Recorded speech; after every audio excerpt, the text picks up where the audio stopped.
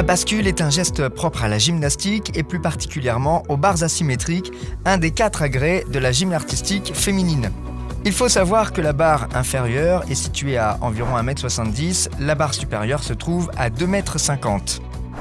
La bascule est un geste de base qu'on fait régulièrement pour euh, pouvoir monter à l'appui. C'est un geste qu'on peut déjà appréhender dès l'âge de 8 ou 10 ans et qui, il faut le dire, ne rapporte que peu de points en compétition parce qu'il entame souvent la réalisation d'un autre mouvement. La bascule peut se faire en entrée de mouvement ou au milieu d'un mouvement. Pour réussir le geste, il faut réaliser une prise d'élan vers l'avant.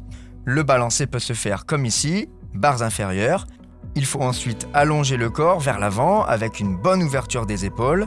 Ensuite, il faut réaliser une fermeture des jambes sur le tronc pour terminer par un appui des bras, ce qu'on appelle une rétropulsion. A noter qu'on peut débuter le mouvement pieds-joints, mais les jeunes athlètes écartent souvent les jambes sur la barre inférieure pour bénéficier d'un maximum d'élan. Durant le mouvement, les jambes doivent être tendues, les bras également, pour éviter d'être pénalisés. Ne pas oublier de mettre les épaules vers l'avant pour terminer le geste et repartir ensuite vers un autre élément. La réussite de la bascule nécessite un bon gainage, notamment au niveau de la sangle abdominale et des bras, évidemment.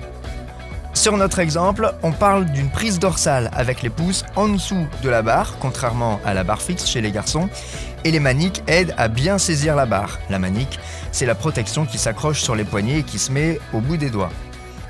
Pour aider à réussir le geste, il est possible de s'accompagner du trapèze pour aider à trouver la meilleure position, du dos notamment.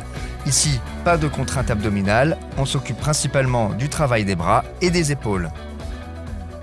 La bascule, c'est un geste qui paraît simple, mais sa maîtrise suppose beaucoup de travail et de répétition pour parvenir à coordonner l'ensemble du geste. Une fois que la bascule faciale est maîtrisée, il ne vous reste plus qu'à travailler un nouvel élément, pourquoi pas dans l'enchaînement de la bascule, pour bénéficier d'un maximum de points un jour de compétition.